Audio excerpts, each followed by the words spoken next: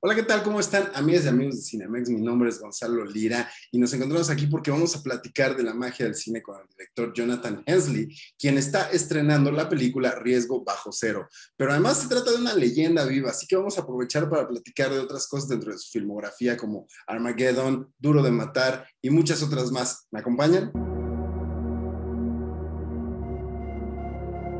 Tell me something. Uh, because I, I uh, watching your um, your your work, I, I realized that there are two things that I uh, noticed. Uh, the first is that here uh, that since Armageddon, you you've been like uh, hinting into uh, themes that have to do with the um, environment in a certain way, and also that this your protagonists are characters that are like guys that have nothing to do with the situation. They, they, they are like in the most, uh, in the uh, weirdest situation that they could be put in, but uh, they decide to go and, and, and take uh, the, the, the job. So why, why do you think that you have these two obsessions in a certain way? I don't know. It's, it's, it's very interesting what you point out because it always takes another another person to point out I, I am too close to my own career. I don't know. I, when I sit in my office and stare at the wall and I'm trying to figure out a new screenplay or sort of what I want to do next, I don't think of, of, of, of that in terms of a plan, you know. I but I guess I do gravitate toward. I, I think I, Gonzalo. I guess the only way to answer that is I think that the most meaningful times in my own life the the times I remember the most. Um, the high the high points and I guess some of the low points is when I'm faced with something with a situation where I I'm completely out of my depth. I don't where I don't know what's going to happen in front of me. I'm doing something utterly unrehearsed, unknown. It's unknown territory. So I think that that's probably why I um, I think that's probably why I do it. I mean, the, the fish out of water character concept is as old as it gets. That that that goes all the way back to Greek drama, to take a character who's doing something he's never done before, um, because you can watch the character adapt to his new environment through the character's eyes. I mean, probably the probably the most extreme example of this that I did was Nicolas Cage in The Rock where where he he's a lab rat. He's a he's a just this researcher who's then required to go in and do this, put a gun on, and he's he's in the FBI, but he's not a field agent. So, um, or or all of the astronauts on, a, uh, uh, who are not astronauts, uh, you know, they're oil drillers in Armageddon. You know, so I probably do it because it's the easiest way to get it at a, a, a highly dramatic situation talking about sources, uh, it also reminded me, and I and I noticed that other people have have pointed that out. Uh, the Wages of Fear and and Sorcerer, the the, the American remake for, from. Um, yeah. So tell me tell me something. Uh, was it was it uh, like uh, like a conscious thing that you yeah. want to, to, to remember those two movies? Well, the original and, and its remake.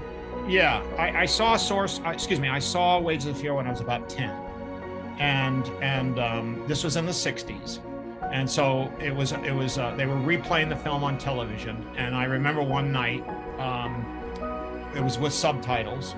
And and and we just started watching it. It was Yves Montand and we I, I was drawn in. And I, I was I've been obsessed with that movie my entire career. It, there's just something I love the small cast and I love the ep- so the smallness of the cast, just four people, with the epic backgrounds, the combination of the character work and the intensity of the suspense with the action. And so I, it was something that was always on my mind, but I couldn't figure out a way to do it. And I was a fan of that reality show, Ice Road Truckers. And one, it just, it just clicked. It just dawned on me. I said, well, this is a perfect way to do wages of fear. These mismatched truck drivers down on their luck who are taking cargo across extremely dangerous place, but it doesn't look like the Andes Mountains and it doesn't look like the jungle, you know, William Friedkin's remake. So it's totally different in its environment and it's not a straight remake. It's kind of inspired by. So that's that's that's yeah, it was very conscious on my part. Yes. My brother is in that mine. This is personal. Now I'm angry.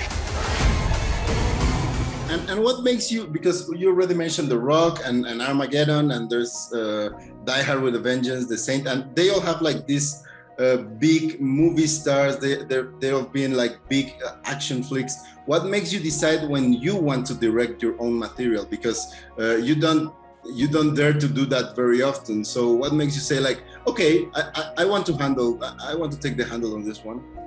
Uh, for me, I had done the, the the job in Hollywood where you you work as a writer, and and I had some hits, so I was able to do it as a writer and an executive producer.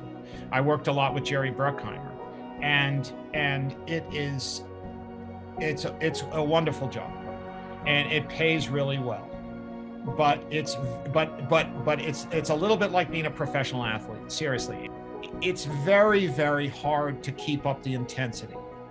And you're always working on somebody else's vision either the director's vision or the or the producer's vision or the studio head or the actor. You're you're you're serving someone else's vision. And and you you a lot of guys they they and gals they just keep doing it and they do it because they're they're getting out of it what they wanted to get out of it from the beginning. For me, it stopped being that interesting. And and and I just said to myself, look, I'm going to direct these pictures, um,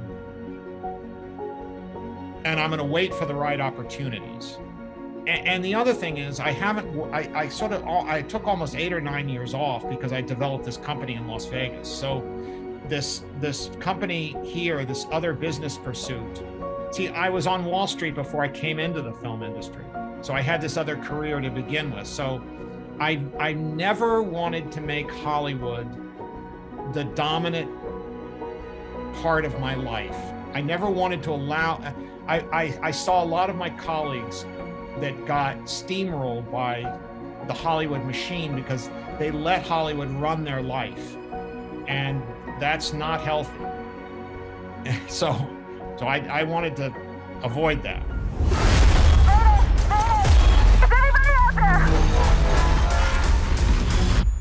We're coming. Just hang on.